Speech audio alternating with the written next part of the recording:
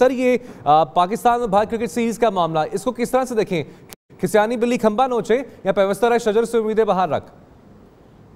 Exactly exactly, बिल्कुल सही मिसाल दी आपने। और इसका इसमें आई थिंक मैं पर्सनली कहूँगा कि हमारी क्रिकेट बोर्ड का काफ़ी इसमें फॉल्ट है। इसलिए कि देखिए मैं कल ये परसों जब ये खबर आई थी तो मुझसे चैनल्स ने मुझे फ़ोन करके कहा कि ये खबर आ गई है। मैंने कहा देखिए कोई खबर नहीं है।